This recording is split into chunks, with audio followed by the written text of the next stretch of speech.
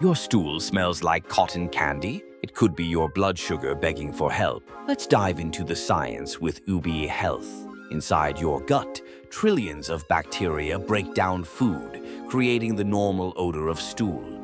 But blood sugar spikes can shift your body to burning fats, producing sweet-smelling ketones. This isn't just odd.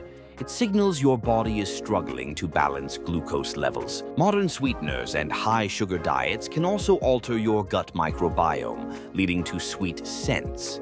If sweet odor persists, review your diet and check your blood sugar. Don't wait. Early testing for diabetes could prevent bigger health issues. Worried you might be at risk? Why wait for a doctor's visit when you could check what's happening right now for free at ubiehealth.com? The Ubie Symptom Checker is the only free doctor-approved AI trusted by 12 million users. And don't forget to like and follow for more science-backed health insights you can trust.